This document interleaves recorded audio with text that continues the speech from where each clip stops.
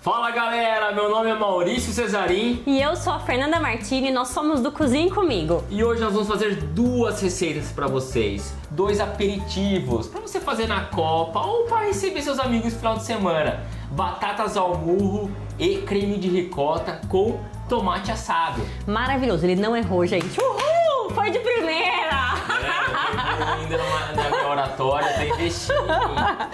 Gente, é sério. Final do ano tá chegando, muito evento. Então, além da Copa do Mundo, que a gente vai parar, vai confraternizar, a gente tem aí as festas de confraternização entre as empresas, a gente vai receber mais os amigos, vai ficando calor, a nossa casa vai ficando lotada. Tenho certeza que acontece aí a mesma coisa. Então, vamos receber com estilo, deixa aquele amendoinzinho de lado, vamos fazer uma coisa bacana.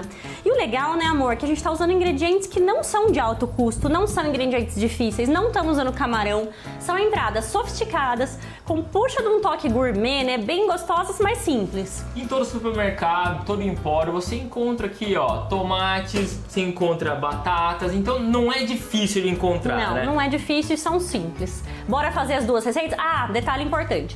Hoje a gente vai fazer meio mesclado elas, porque a batata requer o cozimento, daí a gente vai pôr o tomate no forno, mas a gente vai fazer de uma forma bem didática para vocês acompanharem. A nossa questão aqui é vir com programas de pratos principais. Semana passada a gente veio com sobremesa e hoje com aperitivos, assim a gente vai mesclando para vocês curtirem e reproduzirem tudo e em se casa. você for fazer as duas, né, os dois aperitivos no mesmo dia, igual a gente vai fazer aqui, você pode usar a mesma logística que nós vamos usar, porque a batata ela demora um pouquinho mais para cozinhar. Perfeito. Vambora? Batatas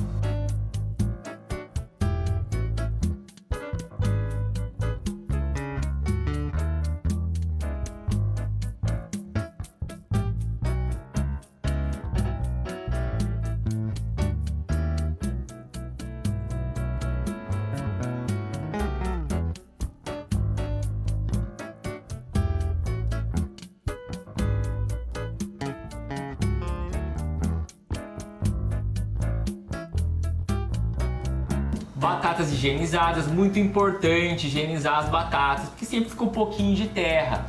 É, essa batata aqui é a bolinha, ela é mais difícil de encontrar no supermercado. Se você não encontrar, até aqui na nossa região é difícil.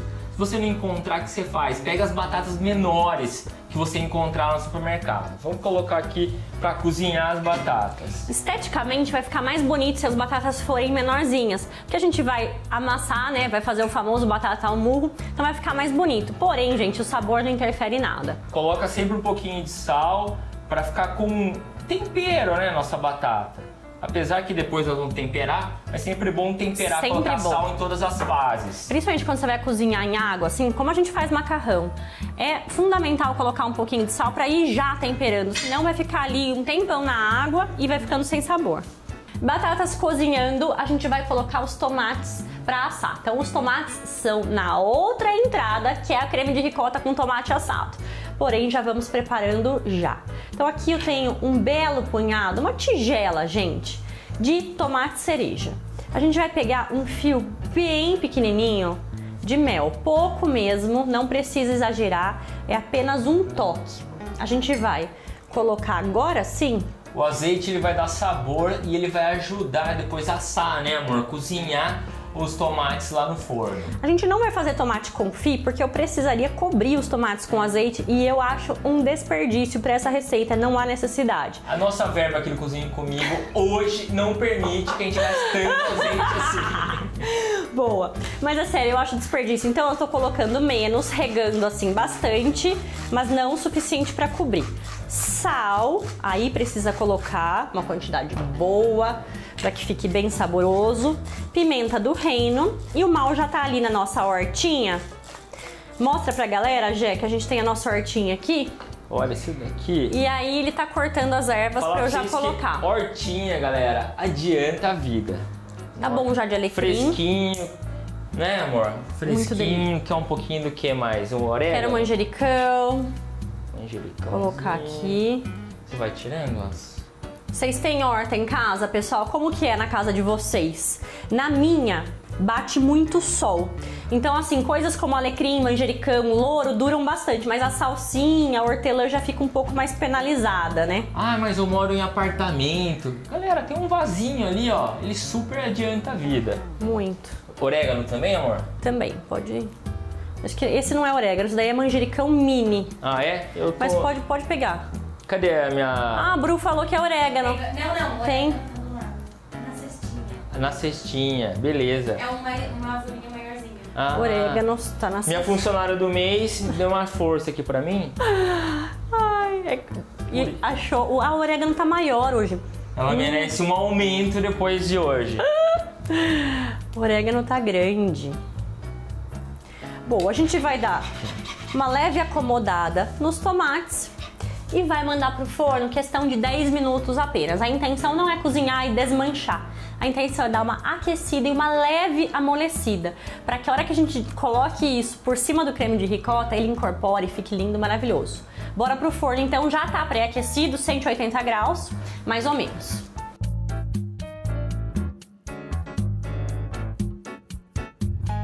Tomates no forno, a gente precisa fazer o creme de ricota que vai embaixo pra gente chuchar, dipar o nosso pão sírio. Aqui eu tenho uma ricota comum. Bastante gente aí nesse Brasilzão gosta de fazer em casa. Então, perfeito se a sua ricota for caseira, melhor ainda. Se não, vende em qualquer supermercado. A gente tem aqui uma, a gente tem meia xícara de chá de leite comum, porém essa medida ela não é tão precisa, porque depende do peso da ricota e o que, que tem que ficar? Um creme. Exatamente. Um creme para você passar o pão, o pão sírio, né? E aqui a gente tem limão siciliano. Nesse caso eu não recomendo muito o Tahiti. Lógico que se você não tiver, não achar de jeito nenhum, pode usar o limão verde mesmo, mas o siciliano entra como uma luva aqui. Assim, pessoal, às vezes eu sei que você tá na correria tal, você pode ir até no supermercado e comprar já o creme de ricota lá, pronto. Só que esse caseiro, ele faz total diferença. Não, é outra coisa. É, é, juro, é, É outra coisa. outro sabor, parece que é, é outro... A gente lá em casa, creme, né? na nossa família, a gente é adepto do creme de ricota industrializado pela praticidade do dia a dia. Fica bom com ovo mexido, fica bom na fatia de pão. Mas para você fazer um aperitivo, para você receber os amigos e para trazer aquele toque de sofisticação que a gente falou, nada como uma preparação feita em casa, feita por você, onde você vai dar até uma textura diferente. O creme de ricota industrializado ele é bem liso, parece um iogurte, né? E aqui ele vai ficar um pouquinho mais E texturizado. outra faz mais vista, né? Porque daí o seu, quem você tá recebendo, tá vendo que você tá cuidando, que tá pensando com mais carinho, né? Naquele jantar. Que Exatamente. Faz total diferença. Bora bater? Vambora. Eu vou começar com o leite, senão ele não vai bater depois, tá? Porque como vai bastante ricota, depois já entro com a ricota. Lembrando, pessoal, que a ricota não vai sal, então é importantíssimo colocar sal aqui no nosso creme. Colocar um pouquinho de mel. Quanto que tem de mel aqui, amor? Uma Fala- colher de sopa. uma colher de sopa de mel. Vou pegar aqui uma colherinha para ajudar aqui. Olha que beleza. O mel, junto com o limão siciliano e com o azeite, vai trazer um toque mediterrâneo, de uma culinária assim, sabe? Muito fresca, que vocês vão adorar. Ó, salzinho que eu falei para vocês para não esquecer, porque ninguém merece, né? Comida sem sal é comida sem sabor, comida sem graça. Colocar azeite, o azeite, volto a falar, além de lhe dar sabor, textura, Tá ele ajuda a bater aqui também. E eu vou colocar aqui só um, um cheirinho só de limão siciliano, só um pouquinho, só umas gotinhas aqui, coloco a peneirinha embaixo para não cair a semente. E tá tudo certo, agora é só bater. As Cadê a tampa? raspas, as raspas de limão siciliano, Vão depois, Vão a hora que depois. for mexer, né? Dois, um.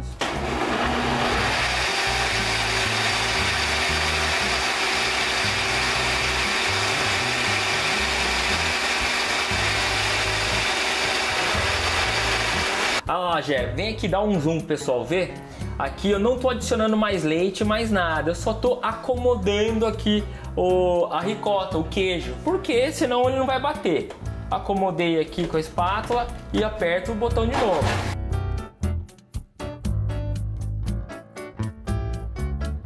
Olha aqui, pessoal. Olha a textura. Olha aqui, Gé, mostra pro pessoal. ficou liso, bonito. Ficou sensacional, olha isso. Uma delícia. Quer colocar, amor? Você que é a nossa empratadora oficial aqui do Aqui. programa. Temos as raspas então. Vamos colocar aqui. Misturar. Sabe uma coisa importante? A gente não provou. Gravíssimo. Pega lá uma colherinha, né? Pela minha experiência na cozinha, está bom. Não custa experimentar. Porque isso aqui é a típica coisa que se não tiver sal. Maravilhoso. Nossa, gente, vai chover no estúdio hoje. Uma Ela falou acabou de sal. De primeira. É um marco aqui no programa Cozinha comigo. Meu Deus. Já escolhi um prato fundo pra gente fazer a apresentação. As esposas, a gente é injustiçada. Sempre leva de reclamona. Atrás das câmeras tem quatro pessoas. Logo chega a nossa amiga corintiana também. Tá todo mundo concor- concordando comigo, dando risadinha. Que é verdade. Aqui o creme de ricota todinho. Já olhei no forno, o tomate ainda não está no ponto.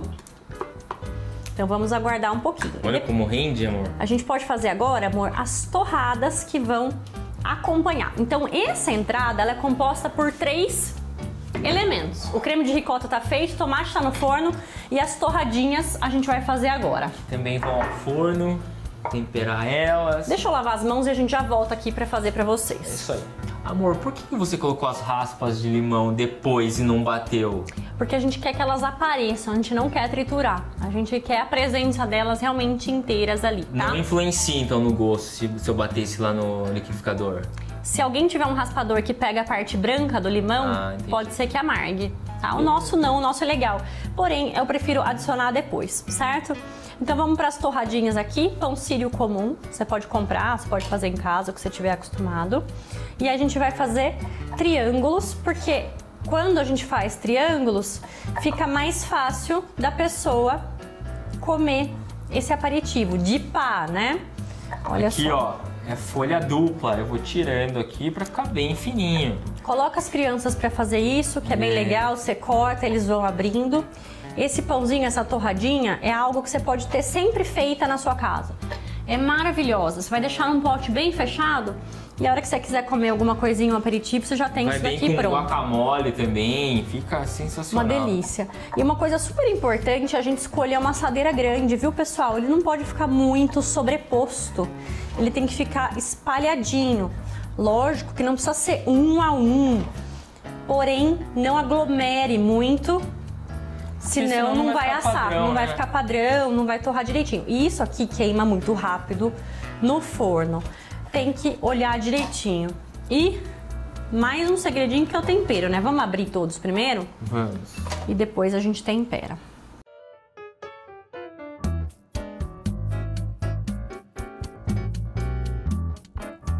Amor, veja que bonito Deixa eu ver.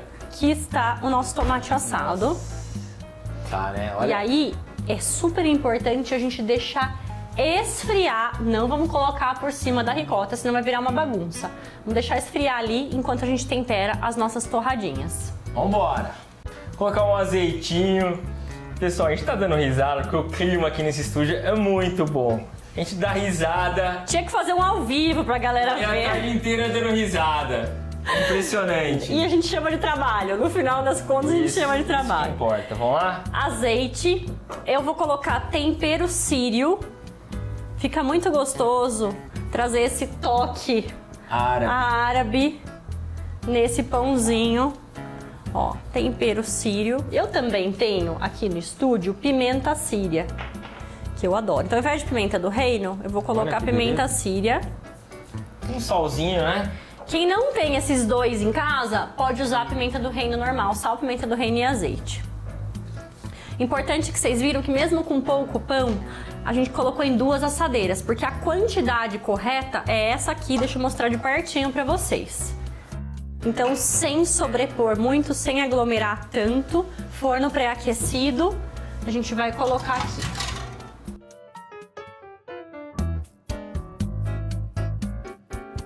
Pessoal, eu já espetei aqui as batatas. A hora que entra com facilidade, ó, o garfo, ele já tá pronto. Então agora nós vamos escorrer essa água. Mais ou menos uns 25 minutos, tá, gente? Dependendo do tamanho da batata, tem que ficar bem macia.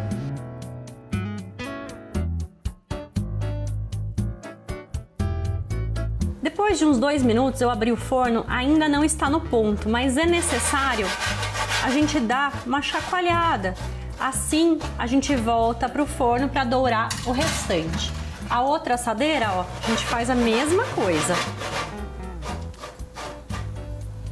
Aqui chegou no ponto certo, Olha que maravilha. douradinho. Ele fica bem crocante, ainda mais depois que esfriar. Mas é esse aqui, tá? Hum, hum. Aqui, ó, eu tenho um utensílio para amassar a batatinha. Não coloca muita força, ó, só o suficiente para ela ficar assim, ó, fininha. Mas se você não tiver esse utensílio em casa, coloca o fundo do copo, ó. Dá certo igual. Dá Olha na que mesma. beleza. Certo igual não existe, né? Dá na mesma. Boa. Acho que existe sim. É, tá Ó, tudo. perfeito. Tá ficando até su- mais bonito com o copo, viu? É. Pode fazer. Importante a batata estar quente e bem cozida. Vai pro forno? Vai, apenas para dourar e formar aquela casquinha por cima. Então a gente vai temperar essa batata antes, né, previamente. Enquanto a gente tempera, a gente faz um molinho onde a gente vai dipar essa batata. Meu Deus do céu, Olha que delícia. isso. Delícia. Maravilhoso. Perfeito agora para os dias de calor, hein? Aperitivo para um churrasco. Amor, Muito pra eu bom. fazer em produção em larga escala, eu preciso de ajuda. Você dá uma Ah. força pra mim? Acho que não, vou ficar só olhando aqui, Tá viu? todo mundo aqui no estúdio com, Com fome. Ó, Equipe com fome. Agora aqui, ó, vou dar uma pincelada com manteiga derretida, ó. Pra ajudar a dourar. Lembrando que a assadeira que a gente tá usando, amor, ela é antiaderente, então a gente não precisou passar manteiga embaixo. Se a sua for a comum, é legal dar uma camada de manteiga pra ela não grudar.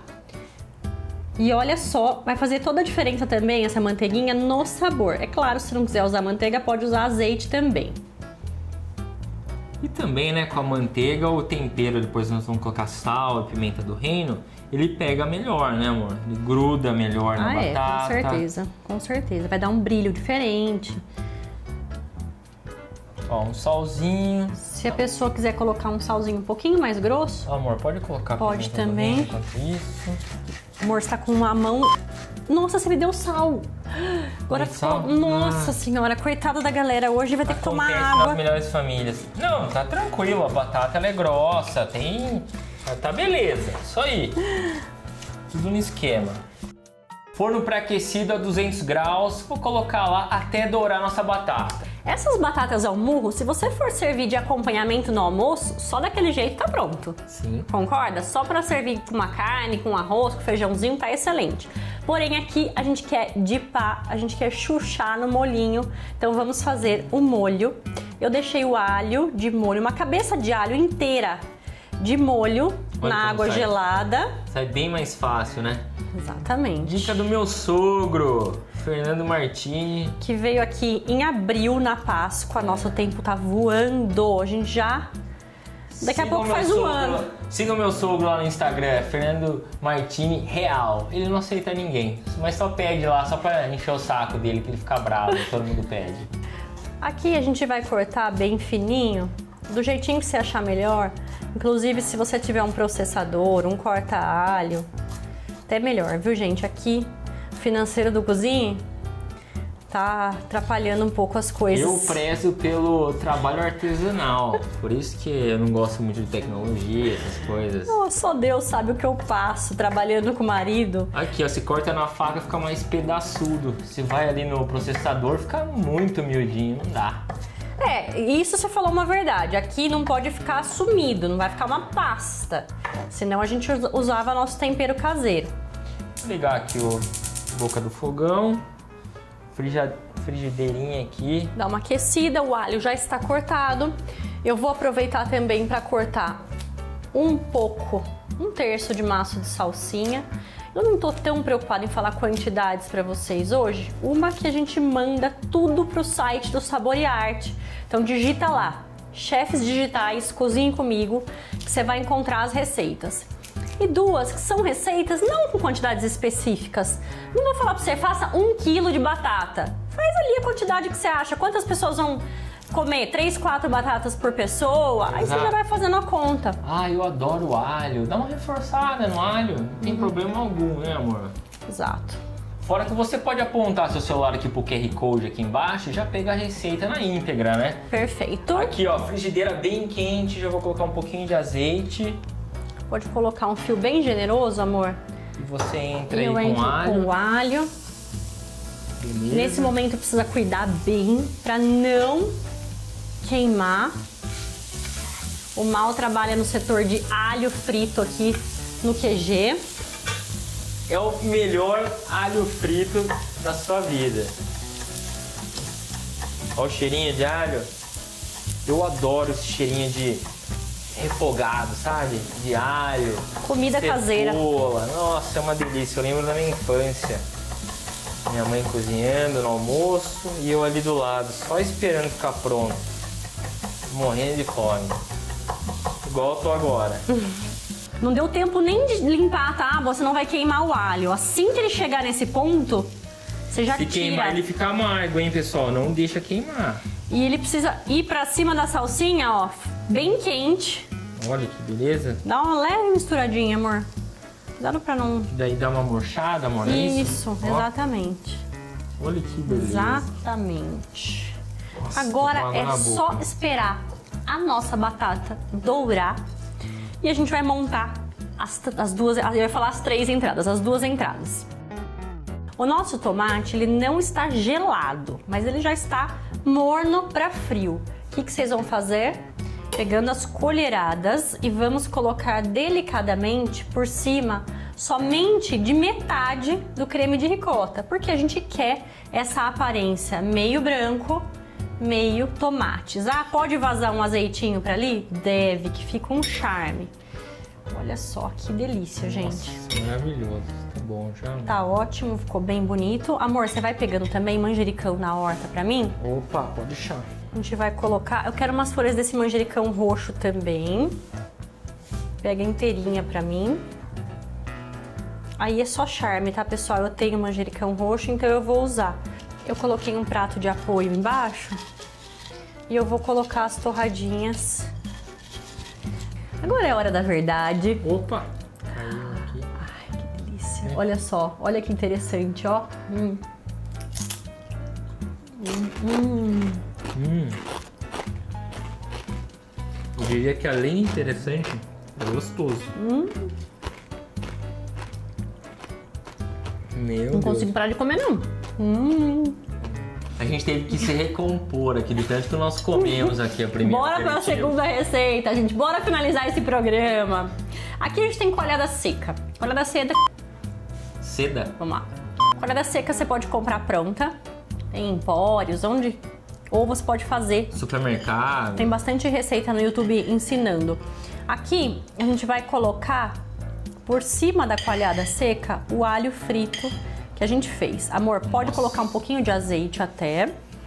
Meu Deus, esse alho ele é tão maravilhoso que dá vontade de comer ele puro, com bifinho, arroz. Meu Deus, num churrasco. Perfeito, né? Vamos tirar a batata pro pessoal ver qual que é o ponto certo dela. Olha só. Bem douradinha. Olha. Ó, que delícia! Aqui, ó, vou tirando com a colher. Pra não quebrar. Quando ela der uma leve amornada, der um pouquinho, esfriar um pouquinho, ela vai ficar um pouco mais firme pra você conseguir passar a pastinha. Vocês estão com água na boca, gente? Vocês gostaram das receitas de hoje? Sempre muito importante que vocês vão lá no nosso Instagram, arroba Comigo, para duas coisas. Uma, seguir a gente. E a segunda coisa é escrever lá no, no direct, nas mensagens, se vocês estão gostando das receitas que a gente apresenta aqui no Sabor e Arte. Lembrando que todas as reprises vão lá pro nosso canal no YouTube. Então procura lá, Cozinhe Comigo também, que você vai achar todos os programas desde fevereiro. Podem comentar. As receitas do mal são as melhores. Ai, Deus amado. Ele faz essas brincadeiras, tem gente que ele entende. Aí, Tem, Leva. amor. O pessoal gosta.